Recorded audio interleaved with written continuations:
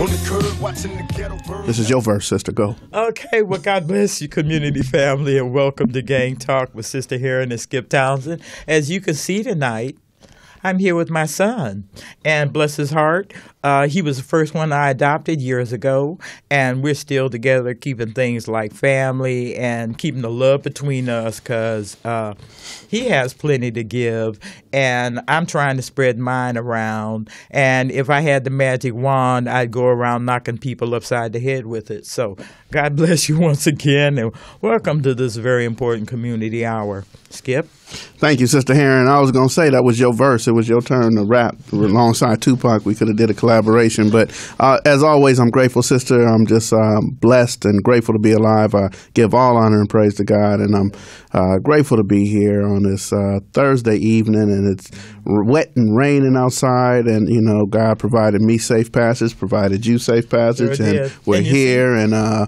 and, you know, there she is back there. Let me wave to her real quick. Hi, Felicia. So she, she got safe passage as well. She got her Funyuns. You know, she's mm-hmm. good. So Yes. just happy to be here. So, Yes, and you can see by our attire, it's cold outside too. And so we spoil LA people, don't know how to act in the rain, don't know how to act in the cold, but at We least do. we got a We go home. Yes. and they make babies. This is the time that they they at home making. They not watching this. They they not. Look, they at home right now, sister, and they got the TV off and the other kids in the other room. And, uh, Nah, So- no, but that's late night hour stuff. Oh, I mean, okay. it's only six o'clock. It's just Oh, an hour past dark. I mean, wait till nine. okay, or how about seven thirty after we Right. off the air? okay, that would be all right. But you know, God blessed us to do this work, and we started uh, in 2009. So this is not our first time at this rodeo, and uh, we were blessed when Skipp joined us, and uh, we've been. Trying to be a blessing since then, not trying, but working at blessing our community with Yes, some indeed. conversation about our nightmares. So, Skipp, let's start by thanking our guests from last week. yes. Let's thank our guests from last week. And I have to think back. I'm having a senior moment. Our guests from last week. Our guests were, uh, oh Lord, I had a brain freeze. Hold on a minute. Right, we did have was- guests last week. yes, though. we did. It was uh, Nick Gilly. Oh, yeah. next to me, Right, right. And then Harry Lennox. Right. after Harry Lennox sitting And then Barry. in the middle. Is it Harry or Barry? No, Harry was with you, but Oh, Barry okay. was sitting next yeah, to me. don't right. confuse me, Harry and All Barry. right. Look, Harry Right. Lennox was sitting in the middle, and then Barry, uh, the psychologist, was sitting next to you. Right, yeah, because I, I called them a rap group. Harry, Barry, Ronnie, Ricky, and Mike. Right, Yeah. was going to be the new addition. Right. You did, and I missed that, but that was funny. But uh, you know, they came to talk about uh, our image in the media, and uh, I thought, and this is just my personal assessment. You got to watch the show and decide for yourself. But and we want to encourage you to call in. As you can see, Skip and I are sitting here ourselves, and we don't want you to think that we didn't have guests that we invited. But some people just turn into cats when the rain falls. You know, they look for the first uh, dry place they can find and just stay there. So, And you know how hard it is to herd cats, you know. They want to run up under a bus, the other want to hop a fence. You know, you can't, it's just impossible to herd cats. yeah, so- you can't do it. You just can't do it. And, and and I'm just gonna tell it was LAPD, so they're the herd of cats we was trying to chase. Well, not all of them. It's just a, Just a few. yeah, just a couple.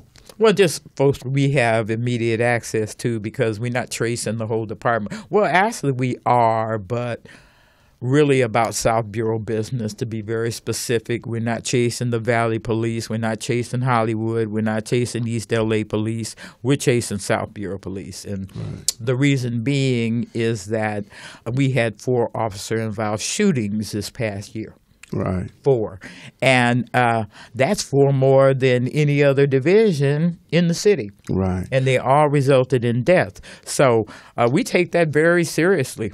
Right. Sister, let me say, and I don't always give a shout out to them, but let me say that there's one thing that I want to recognize that LAPD just did recently. Of course, um, Deputy Chief William Scott, Bill Scott, is on his way to San Francisco mm-hmm. to become the uh, chief of police out there. Yes. So that leaves a major void in South Bureau.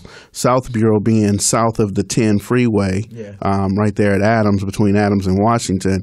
And it goes all the way down to the harbor, to San right. Pedro, Cabrillo Beach. Right. So all of South Bureau, which is Watts included, South LA, everything that borders um, Inglewood and yep. all the other cities, yep. yeah, Compton, this is all what we call South Bureau. Mm-hmm. So we need someone from the community who understands the community. Yeah, we do. And um, what what I want to give props to LAPD is because Chief Beck actually told me and Taco Jaime twin that he promoted Phil Tingirides mm-hmm. from commander to deputy chief mm-hmm. because he knew the backlash he would have gotten mm-hmm. from ceasefire and the mm-hmm. Watts Gang Task Force mm-hmm. if that wasn't his choice to be mm-hmm. the deputy chief in South Bureau. So I got to say, I appreciate um, Chief Charlie Beck not wanting to fight with us.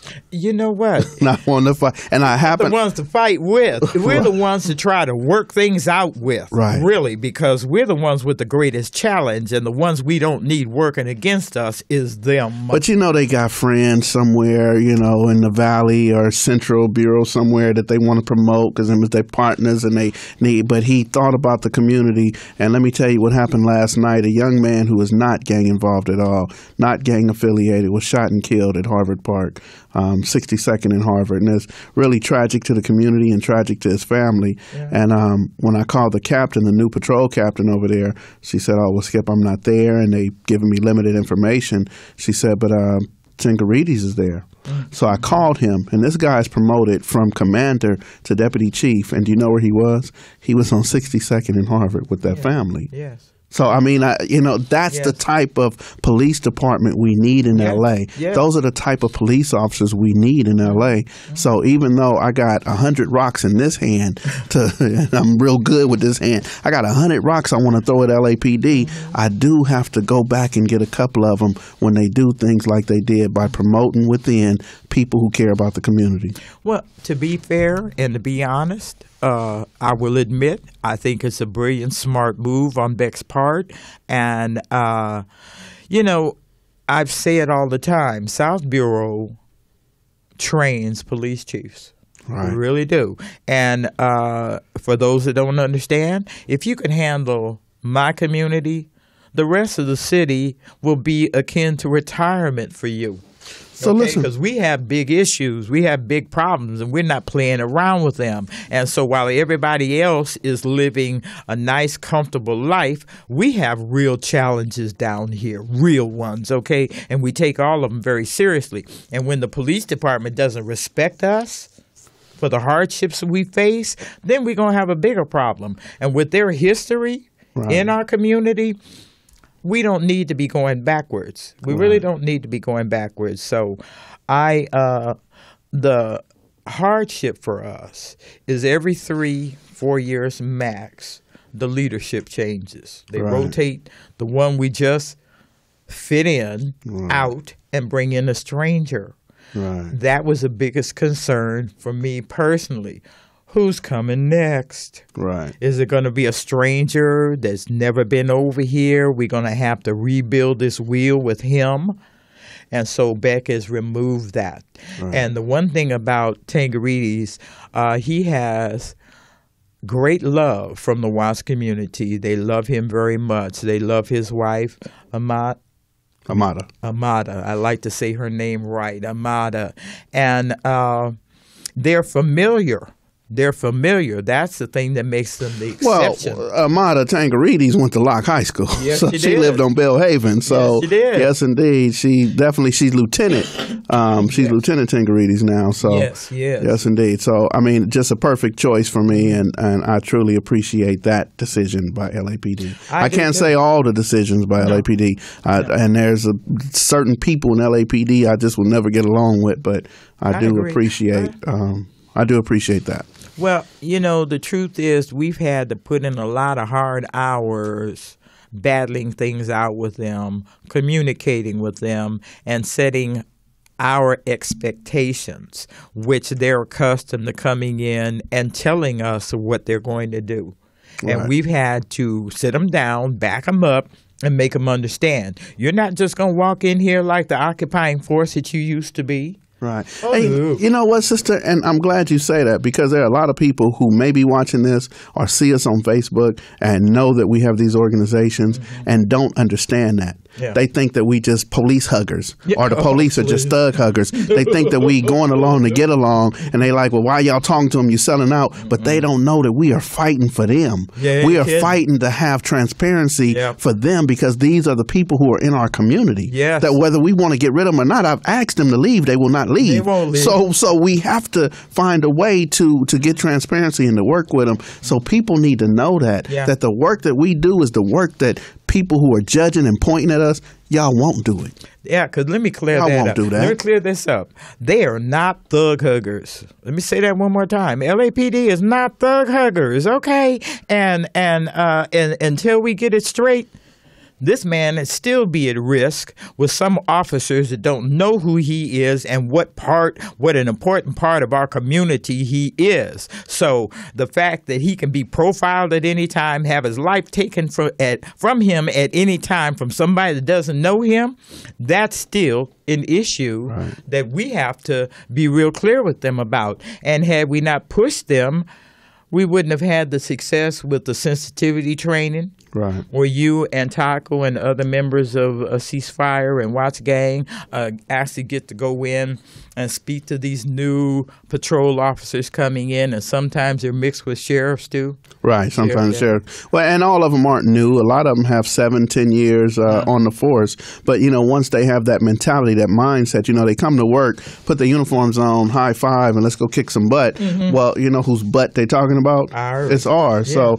you know, we have to let them know that we're not suspects. We're not armed and dangerous felons. We are people. We're human beings. And you know, one of the main words that they use is, "Well, those are gangsters." Yep. And I'm like, "Well, what is a gangster? A you know, who taught you that?" Uh, Right? And yeah. you said we have to get rid of these gangsters and Oh. well that's somebody's child That's so somebody's you know child. that's that's what we're up against and for you know and this wasn't for LAPD this is for the people who are watching people who don't understand what we do Mm-hmm. well that's it right there we're letting LAPD know that there are no gangsters in the community That's right. That's right. these are our family members these are our children and we're fighting for that That's right. Well, see, because 2016 was not good for South Bureau. There were four officer involved shootings that were fatal.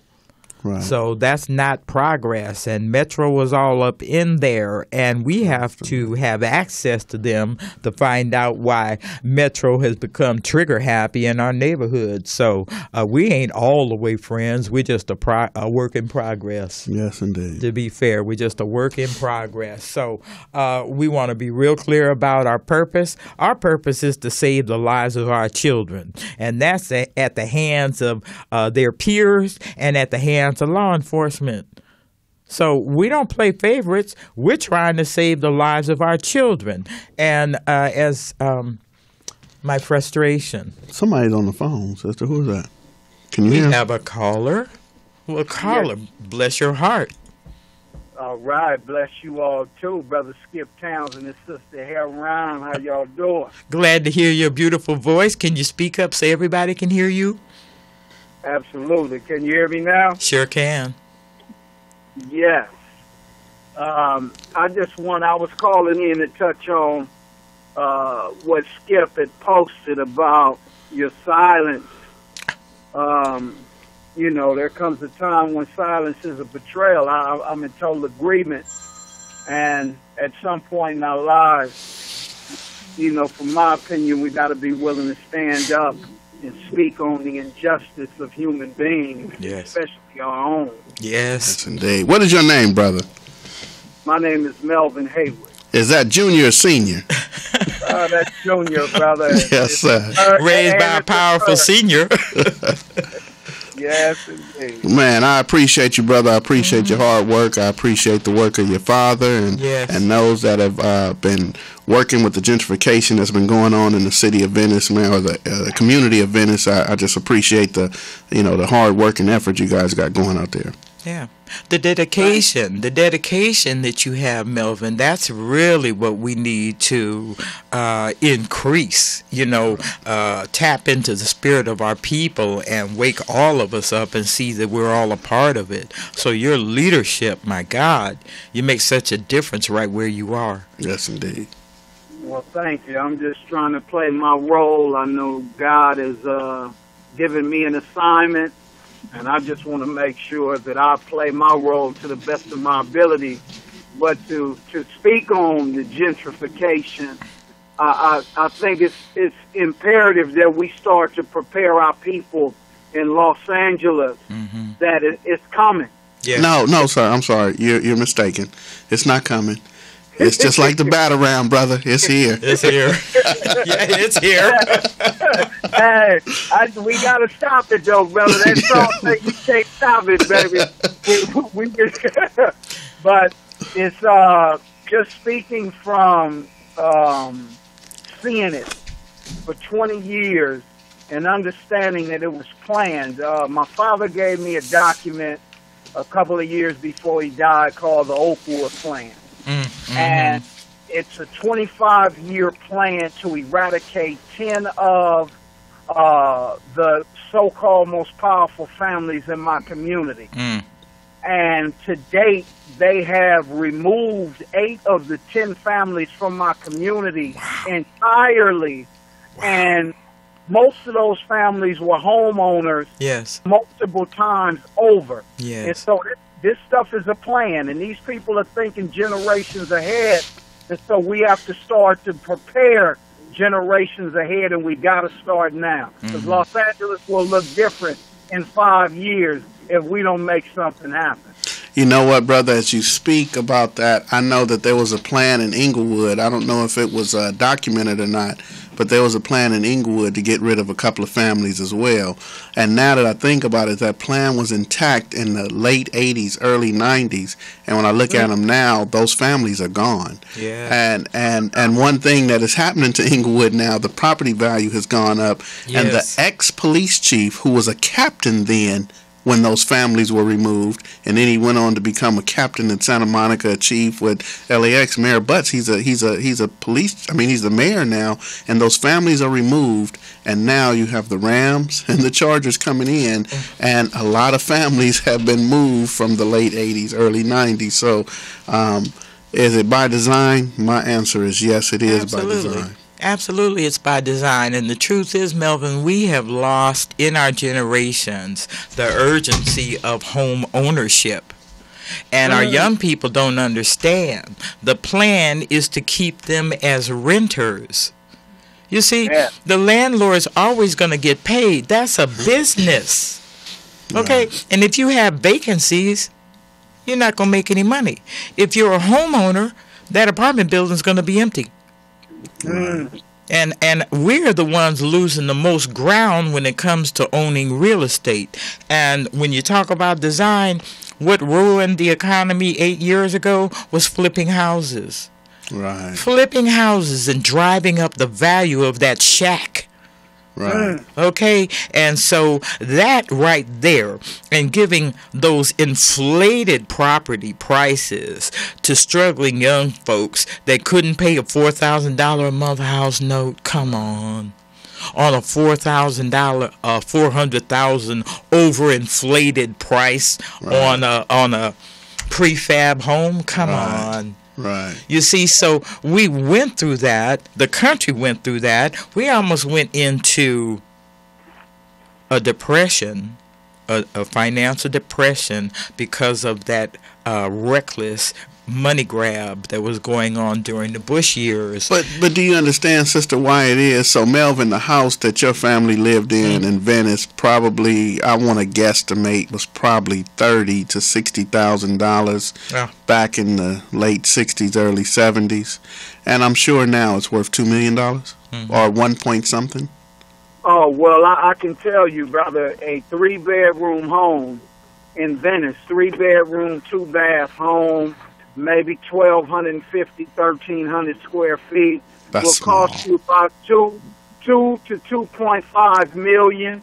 And Mm. what's going to happen is is the developers are going to purchase the property. Yep. They're going to tear it down immediately, Yep. and they, they're going to add about 2,000 extra square footage on it, and they're going to flip it for four and a half, five million. Yes. Right. So there's just Man. it's just no way to get back from that, brother. You know, I come from the um, the area close to USC, the West Adams area, the Arlington Heights area, and um, I know Kenny, uh, my, uh, one of my partners, Kenny Smith. His grandfather bought that house for thirty thousand dollars, I believe, in '68 or something like that. And uh, my grandmother's sister bought a house uh, for about sixty something thousand a little later than that, early seventies. And uh, both of those houses are worth eight hundred plus now. So. Uh, yeah, it's no way I can move back into that home. You know, no way, brother. Well, the neighborhood that raised me too has been completely gentrified. There's no way a black family, if you're not a doctor, an attorney, a politician, uh, and even if you are, you may not be able to live in that neighborhood because it's in the same area. And at the time when you were talking about Skipp, they were coming after those antique homes Right. because of the price and the money that they had, they could rehab that whole home. Right. Beautiful homes over there, built in a time when uh, architecture and craftsmanship meant something. Right. Okay, and a lot of the homes in this community have a redwood foundation. Right. Okay, Right. I found that out. Yes, and and uh, well built, and they uh, like the home I live in was built in 1901. Wow. And yeah, and look at all the things that have happened since 1901 in the city, and those houses are still standing. Yes, that, that it's because of the wood. It's the redwood, as It's the you said, redwood and, they- they and the construction. The and the construction. Ain't nothing prefab on my block. Right. Right. Yeah. See, go ahead, Melvin. No, no, that's amazing. That's some history that we need to talk about. hmm Um, and you're absolutely right. How do we get uh, young people and our people of all ages to start uh, reinvesting in, in their families? I've always believed that the only way you become a true stakeholder is to own something You got to in own. the community. Because if you own something, it's virtually impossible to get rid of you unless you want to leave. That's it. Okay, so think about back to owning. think about this, brother Melvin. Think about this. So owning property and, and, and home ownership uh, as opposed to renting. Think about what is it that I was taught as a child. And I'm saying I because I'm speaking the I format. I was taught that I need to get a good education so that I can get a good job and I can go to work every day and I can provide for my family. If I do that, then I will teach my children to go to school, get a good education so they can go to work and provide for their family. So in my community, we're taught to be hard workers. However, there are other communities that are teaching their children to go to school, get education, and be able to manage people. Mm. To be mm. good managers of mm. careers of others. So, as someone is teaching me how to be a hard worker, somebody's teaching them how to be the manager of the hard workers, how to own different companies, different businesses, own different properties, so that they can manage the property, they can manage the people. Do you get what I'm saying? Absolutely. Uh, It's a systematic approach to keep a large group of individuals inferior. And here's the thing. The only way we can break it is if we no longer accept that process and believe that through hard work and determination we can control our own destiny, but we got to be able to own. And so here's the thing. I believe we have the most talent in the world. I think what what our our Achilles heel is is our people have yet to learn how to unify Yes. as a body to represent one another and move on one accord. Now we don't all have to love each other per se, Mhm. but if there is a healthy respect and an understanding on cooperative economics, understanding how to build our communities up, then we alleviate some of this petty stuff that we're seeing right now. But it's really all based on self-assessment. I got to analyze myself as a human being to know what my greatness is and know what my strengths are and connect that with other people's greatness and strengths. Well, can let me interject something from a historical standpoint. In my father's generation, it wasn't just the education. It wasn't just education. It was your skill set. And that's what African American men had to rely on their skill set. What do you have? What trade do you have that somebody's willing to pay you for? So we were mechanics, we were plumbers. We were electricians. We were everything everybody else is doing now except us. And when we talk, we just talk about a job. It's like, and, and we put ourselves up against that, our backs up against that wall where they say, well, I'm going to hire you, but I ain't going to hire you. You see, we take all of our options away by just presenting ourselves to work for somebody else when it's time for us to go back to the old ways and become self sufficient. So, Brother Melvin, think about this real quick. Think about, and I was talking to Sister Herron about this right before the show started. So, Martin Luther King Jr. is running around the country and around the world helping to get um, desegregation, you know, saying it's unfair and we should have the same schools, we should have equal everything, and we should be accepted. So, you know, one of the things that I didn't know till this week was that the NAACP was started and funded by people who weren't even black. Yeah. So I also hear the Rothschilds who actually start wars and loan countries money to go to war with each other, both countries. So two countries want to go to war and don't have enough. The Rothschilds will provide funding for both sides because they win regardless, yes. right? So so the Rothschilds actually um, gave money, donated money to the cause of segregation and to the the plight of Dr. Martin Luther King Jr. So imagine if they didn't. Imagine if Dr. Martin Luther King Jr. didn't do as much as he did and we were stuck segregated. We had to eat with each other. We had to learn from each other. We had to share our resources with each other. We had to buy property only from each other. We had a black community that was only for us. Black banks, black markets. Can you imagine that, Melvin? Where we would be right now if it was not for segregation? Well, you know what? We had that in 1929, Tulsa, Oklahoma. And that's the exact reason that that community was torn down because we owned the banks, we owned the real estate, we owned the general store, we owned the library, we owned everything in that town. And it was prosperous. It was prosperous. But the other side of that track didn't like what African Americans were growing into and so they found a way to challenge us like they usually did in those days where you spoke wrong to my woman, so now I'm going to burn your house down. You we, see, we would have had black police officers. We would have had black politicians black for our officers. black community. Yes. Do you get the the whole point? It's like one of those aha moments. Like, yes. man, I think I've been tricked. Yes. You yes. Know, I don't yes. think this is my baby after all. You yes. Know? Yes. You know, it's like yes. it's like the baby's being born. He got blue eyes and blonde hair. Like, man, this this ain't my baby. Well, you know what? See, because Melvin, we were supposed to talk to some African American police officers tonight and talk about the uh, very tricky situation they're into. But you know, that's that's not a conversation uh, every working African American in the city is ready to have. Right.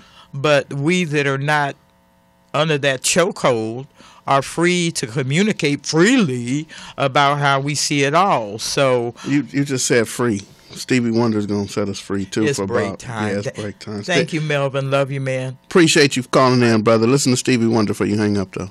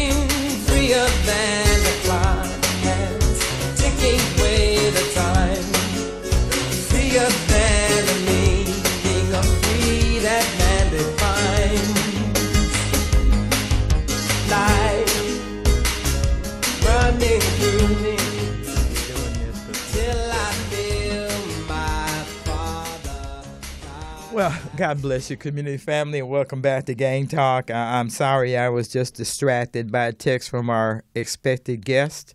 And uh, I just don't want to be distracted by that because, you know, when we ask people to come to the show, we're very serious about it. And it's an opportunity for us to show communication, at least portray that we're trying to find a way to communicate. But uh, when they don't meet us in in the middle where we're sitting waiting for them, then uh, what it does, it backs us away from the process. So uh, we don't offer any apologies. We offer the open door. They have the choice to come through it, but they're the ones that decide. Uh, we can't force them to do anything.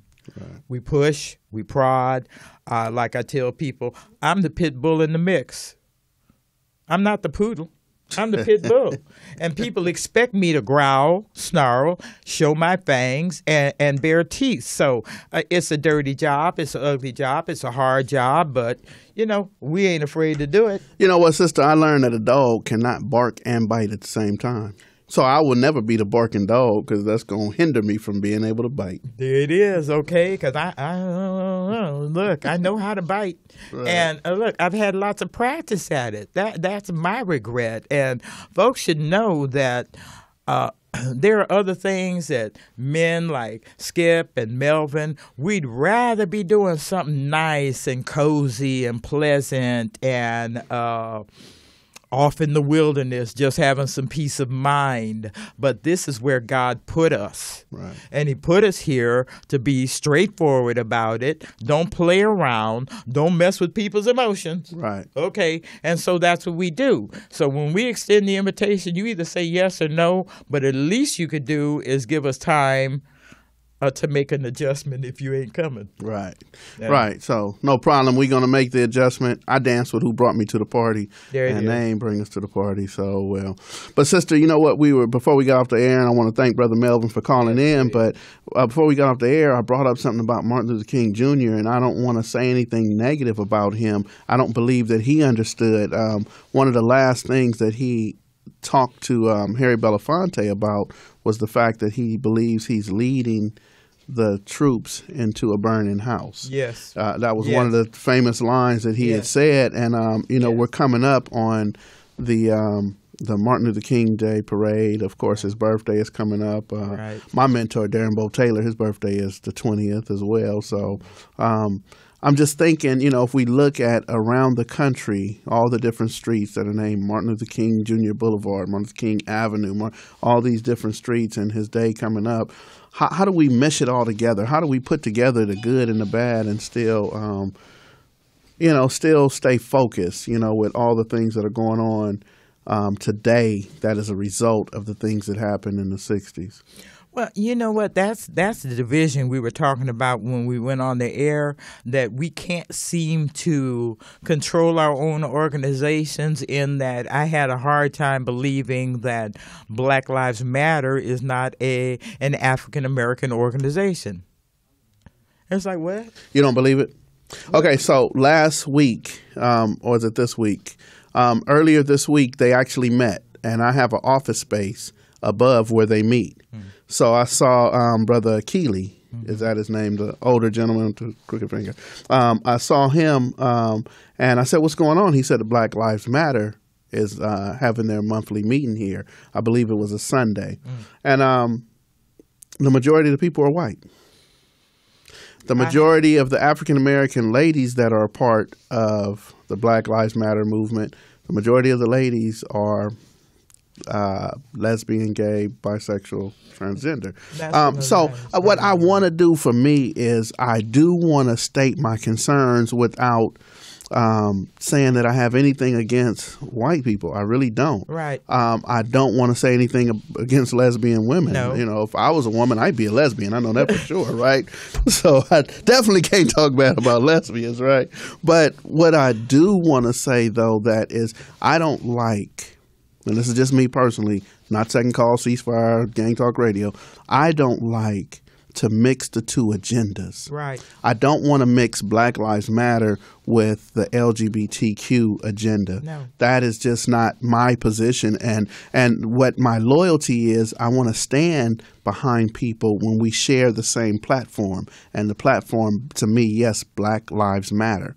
But when it's sidetracked with another platform, will give me the opportunity to tell you whether or not I stand with you on that mm-hmm. platform. We could still go eat. I'll still come get you if you got a flat tire. Mm-hmm. We could still be friends, but I may not agree with your uh, stance on that matter. Right. So I was at a meeting once um, where they spoke before I did. Um, um, Jasmine and a couple others from Black Lives Matter, and they spoke about the Black Panther Party being started by Bobby Seale, Huey P. Newton, um, but they said seventy percent of the Black Panthers were made up of women.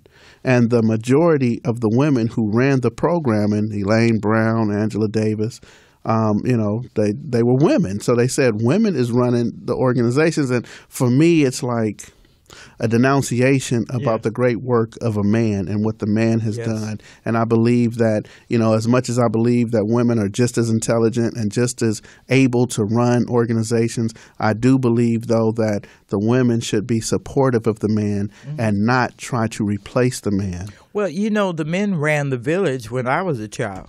He was the head of the household. The women supported him. We respected him. We encouraged him. We kept him lifted up. We took the burden of uh, the kids Right. so he could be free to go be the man and uh, hunter gatherer, is what uh, men's a- assigned role from our inception. He's supposed to be the guy that goes kills the beast and brings it home, and the woman cooks it. That's what the hunter gatherer principle is.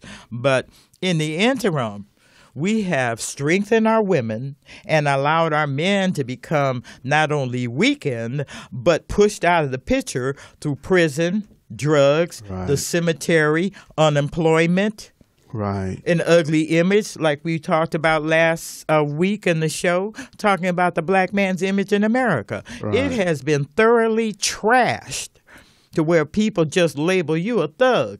Right. You know, they just see you and automatically, you know, uh, like my sons, you know, that woman that clutches her purse when you walk by wearing a three piece suit and a tie. You know, that kind of foolishness. And to the men that suffered and died for this country, suffered and died for our people, it is such a disrespect for the other part of my village. Right. See, if it wasn't a black man, I wouldn't have no children. My children won't be black. You see, and, and, and we really need to stop playing into this foolishness. And I hate to be so rigid about it, but it's been very costly. Assimilation has been very costly to the black nation. And I'm not trying to be a segregationist, but I live in a segregated community. Ugh. Right. So so think about this, sister. Think about how long the Nation of Islam has been doing what they do. Think about all the different groups that have been around for years. And I know that the um, the founder of Black Lives Matter, she had wrote a letter based on the um, the homicide of Trayvon Martin, and she ended the letter with Black Lives Matter. Um, and then when Michael Brown was killed in Ferguson, which is to me not that long ago, It wasn't. um, that's when she decided to get with some other people and they started Black Lives Matter, the movement. And if you look now at how big they are and having chapters in different areas, um, they're not other movements prior to that? And why aren't they being supported? That's the why? point. So why is it that this movement now is so large and has grown so much, and people are saying that's the movement, but for me, it does not represent the grassroots of the things that you know, as in 2000. Six, 2007, when you came into that um, ceasefire breakfast, which was the second breakfast uh, right there at the Regency West. Mm-hmm. Right. It was the second. So there was the first one, and the first one didn't go good. There were issues, there were problems. They had to make some phone calls, but that is what saves lives. Right. That is what Right. saves lives. So there's an issue. How are we going to get through this? And one of the guys who hopped the fence to save the day over at the first breakfast is a guy named Kalboski. Um, Calvin Hodges. So if everybody remembers Calvin Hodges, he was actually shot two years later, covering up one of the youngsters he was talking to, and he's paralyzed. Right. So now Calvin Hodges is no longer working for the city, does not work for the grid. He's not an interventionist. He has to adjust to his life now Right. as as a um, paraplegic or quadriplegic, and and so for me, there was a movement where people have lost their lives. Bo Taylor from cancer, but um, uh, Looney from Yes, So there oh are my people who lost their lives well before this movement. And and now we're giving so much credit to this movement, which actually to me tears away from the hard work that people were doing Yes. Well before before Black Lives Matter. Twin is standing across the street. Kevin Orange is standing across the street, and he's watching Keith Orange get killed. And watching his brother. That is his twin brother. Yes, his so twin before brother. Black Lives Matter, they were people who were actually doing this work. So it doesn't take anything away from them. I think that it is a catchy name, a catchy phrase. I think it's important. I think it's very important to organize. I think everything they're doing as far as organizing is great. However, I just want everybody to understand that there was something prior to that. Yes. And it was more grassroots about us. The argument we have with LAPD was an argument we were having before Ferguson, before Trayvon. Yes. We were having this Yes. argument when they weren't listening. Yes. And we started having the argument when they were listening. Yes. You know, so I And just I, just have to say this. I am so offended. And and I don't mean this against the gay and lesbian community, but and I understand that their whole agenda is to fight for civil liberties for themselves. But how do you call yourself Black Lives Matter? How do you do that? You see, that's a direct assault on my life as if now my life doesn't matter because the LGBT community is running that organization. Are you serious? Black folks, we need to stand up. When we claim something, let's make sure that we're claiming it for ourselves and then invite others in. I don't mind inviting, including people at the table, but you can't come in and take over the black agenda Right. and just turn it into your own. And so that's part of my frustration in in working in activism to see how uh, we're infiltrated. Well, you know, sister, it's another thing like with um, Martin Luther King Jr. So for me, I believe that that you know they are definitely capable and able to organize and and and and be a part of the movement that's going on. However. I'm not mad that they're in it. I, I'm mad that this is part of the platform. Well, like, don't bring the platform of LGBTQ to Black Lives Matter because what that does is even with, if Black Lives Matter, then I would encourage the men to not um, support the homosexuality of other men. I don't want it to become normal because now we're losing. We've already lost to prison and death. So when we stop killing each other, do we say okay? It's now it's okay for for men to wear dresses, boys to kiss boys. So I, I don't know what the answer is there. So I'm definitely not an expert, But, but I definitely don't want to push that. You're on, the on right track of what I'm saying here. Black Lives Matter, supposedly, in theory, was supposed to be our response to officer involves killing Right. of black men with little recourse. With little or no recourse. Trayvon Martin really kind of set the standard of what direction we as a people had to go. And so when I heard Black Lives Matter, uh, I jumped right on that bandwagon because it's like here, now we got an organization, we can go push the police we and do it on a national level do it on a national level because those Black Lives matter to me. Now the question is, do they matter to the LGBT community or are they just riding on the backs of our struggle to get equality? That's a conflict I'm having with Right, okay. the pairing. And and what disturbs me more than anything is to hear my people say, "Oh no, I'm not going to be a part of BL uh, uh, Black Lives Matter because it's been taken over by others." Right. You see, so what do we do now?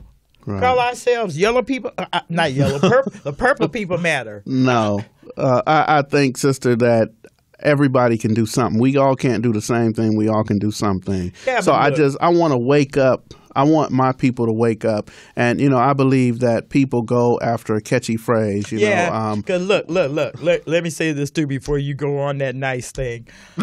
Blue lives came into it. Yes. All lives came into it. Now all of a sudden, everybody's life matters. When it came out, the police aren't killing you. They're not killing your kids. They're killing mine. And we as a people want to say, hey, look, why? Why are you just doing this? And uh, we haven't been able to get justice. And so, really, from Dr. King to now, they've been the biggest voice that African Americans have had in a while. And do you see why? Because they have so many Caucasian people that are following. That is the key. What what what is grassroots stays grassroots only because there's a few of us that follow. But when they they make it out to where um, society as a whole is paying attention to it, now it has some leverage. So we go back to Trayvon Martin, who was killed. 14 months later, after he was killed, there was a young man named Trayvon Jackson was killed on uh, Fourth Ave in Hyde Park. There was no Black Lives Matter for that. This was a shooting where two people were shot and killed. One of them was Trayvon Jackson. The young man who went to jail for that killing, well, he was just killed on Vernon and um, Vernon and Western uh, last year himself when he was released from from jail when he got a hung jury or acquittal. So for me, it, you know, yes, we definitely have to do something behind Trayvon Martin. We definitely have to um, take a stand and stand behind the family and everybody else. But we have to stand behind Trayvon Jackson's family too. Yes. We have to stand behind the family members of everybody who was murdered. Um, Just last year, my friend uh, Anthony Beeman was murdered, and we have to stand. He was an intervention worker, came out the jungles, out the Baldwin Village area. We have to stand behind that. Looney was murdered. We have to stand behind that. These are interventionists. Kalboski no no longer can walk Yeah. um, from helping people. So I just don't want to water down the work where people have lost their lives Yeah. while doing intervention, um, and in the name of you know not in the cult name of Black Lives Matter, but in the actual meaning of Black Lives Do Matter. So. Well, that's the problem I'm having with it. It just seems that when we start something, we don't get to carry it very far before it's already watered down and weakened and uh, disrupted and no longer effective. And uh, as somebody that was blessed to live in the time of Dr. King and Malcolm. I like to call them the yin and yang of the movement, you know, because Dr. King says, well, let's do this. And Malcolm came back and said, by any means necessary. And so they had two very strong messages, but uh, polar opposites of the way they handled it. And uh, I'm sorry that uh, Harry kind of cut me off last week about this because I wanted to say that nobody ever from my community spoke out the way Malcolm did.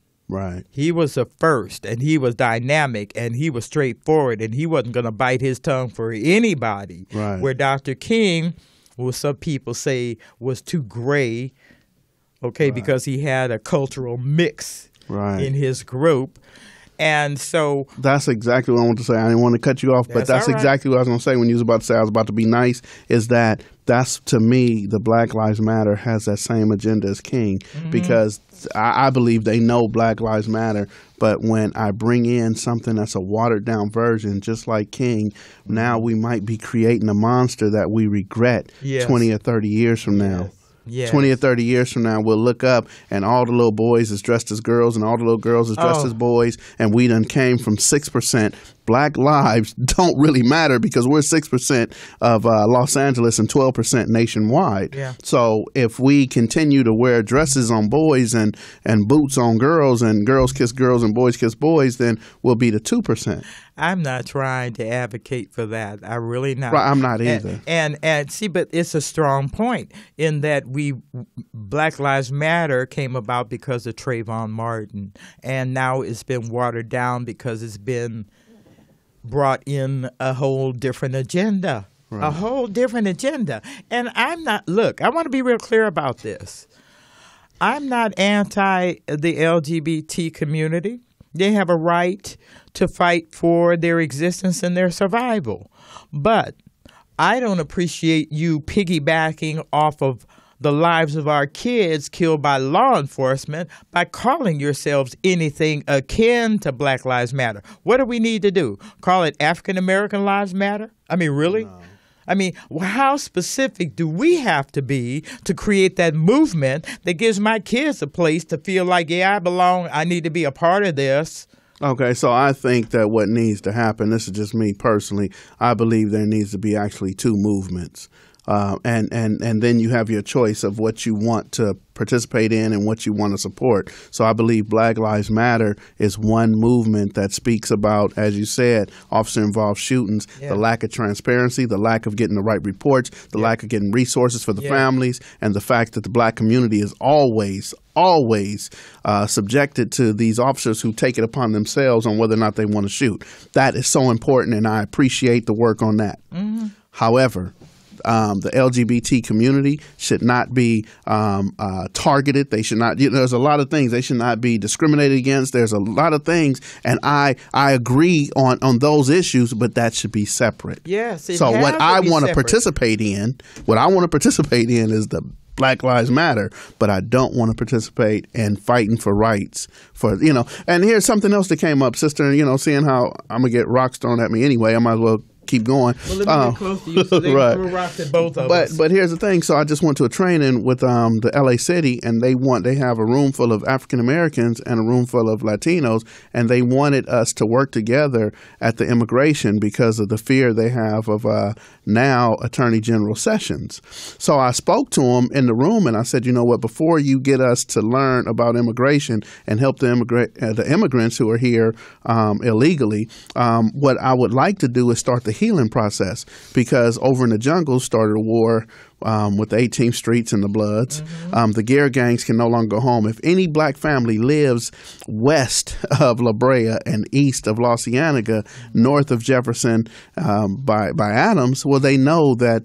That African American, that black community is gone. Yeah. So those gear gangs or whatever they called, they're gone now. I, I don't Mm-hmm. advocate for Crips. I don't advocate for gear gang Crips, but they can no longer live there. They Right. would be killed. Their families would be killed. Yeah. Um, the same thing on 59th and Compton, the 5-9 East Coast. Um, they've been at war with the Florencias, and some of these Mm-hmm. these gangs put black killers on there. In San Pedro, it's the same thing. They put black killers. These guys cannot go back to the projects in San Pedro. So we have to be mindful that when we went from 60 something percent population down to six percent, and now the Latino population is sixty-one percent. There was a transition that no one helped us get ready for. No. And all the fighting and killings and all the shootings and drug wars and stuff that went on, we need to heal 1st mm-hmm. Can we heal before you want us to help with the immigration? Now there's a fear of Trump, and it's like, hey, we got to band together because he put Sessions in charge, and Sessions gonna come get us. And I get that, mm-hmm. but who's gonna tell Jamiel Shaw that?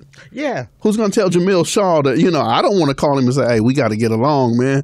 I don't want, he's going to be like, man, you stupid, Skipp. They killed my son. Yeah, yeah. And that's the know? problem we're having. We're caught between that threat that's really our government allowed. Our government allowed this migration.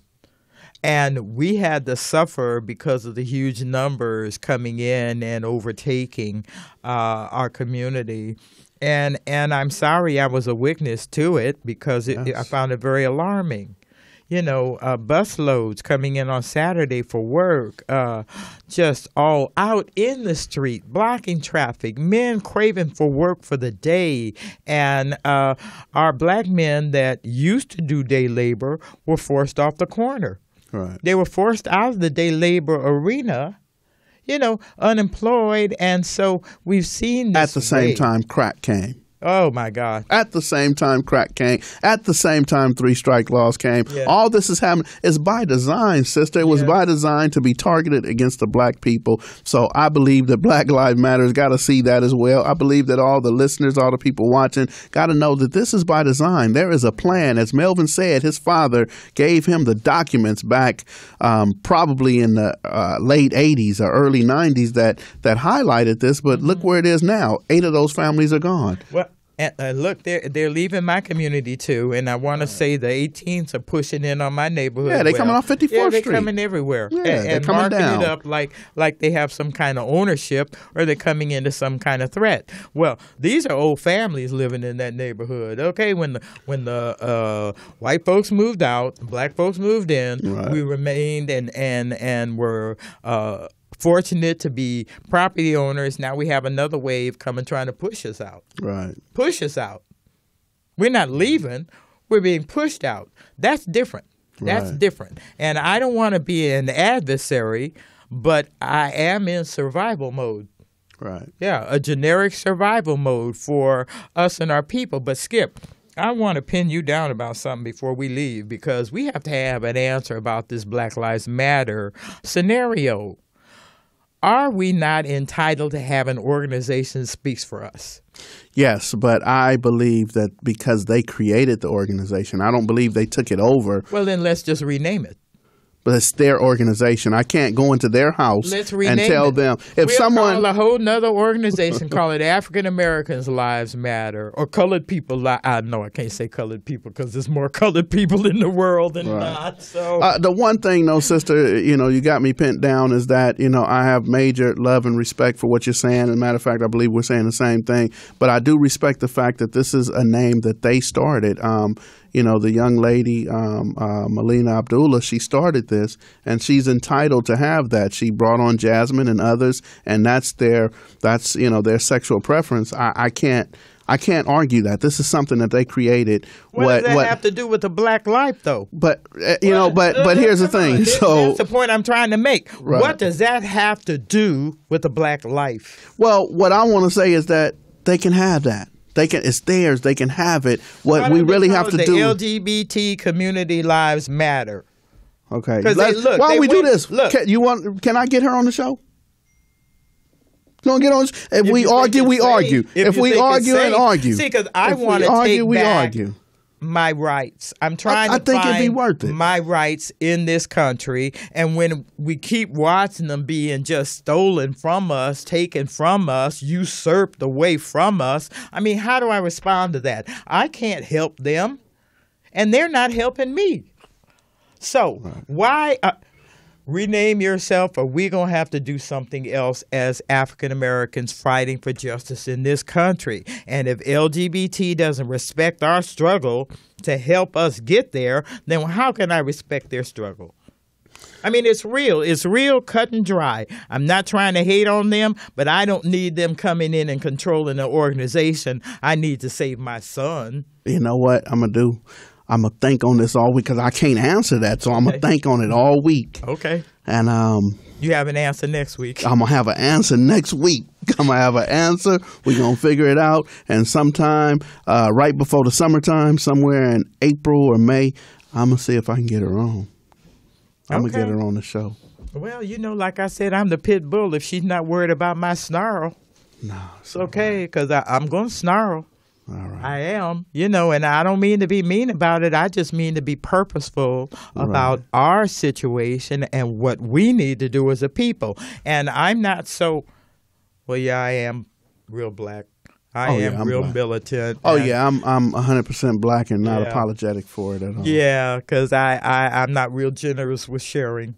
Right. I'm really not. Not until we get our stuff for, uh, straight, and and that's my focus is to get our stuff straight. Anybody want to help us get that straight? You're welcome. But if you want to come in and stand in front of us, you're gonna have a problem. Right. You're gonna have a got you. problem, and it's time for us, like Malcolm said. To do our business on our feet, not on our knees. So, this is time for our brothers and sisters to stand up. Right. So you know what? And even in saying that, you know, power concedes nothing. Mm. They did not. No one gave them the power. They took it. They took it. They took it. Mm-hmm. And and uh, you know, I I gotta say, I'm you know, I'm not into the LGBTQ. But they did that. you know what I mean? They did that. They they they missed. They started Black Lives Matter. They missed the organizations or however they did it, and they took that power. No one gave it to them. So that's why I'm not mad at her. I don't like the mixing of it, but you know, like I said, if I was a woman, I'd be a lesbian. So I, I understand. and I ain't mad at you about that either, Skipper. You know, it's just so much that we have to do as a people to help ourselves, and uh, this hour is devoted to try to get some clarity that uh, helps us figure out that it's going to take all of us uh, to be involved, and uh, no one leader is going to fix what's broken in our village. Right. So, Keep your head to the sky, sister. Thank you, Skipp. You keep your head to the sky too. Yes, ma'am. and keep it dry. I love you, man. Love your family. Thank you for listening, and we'll be back next week.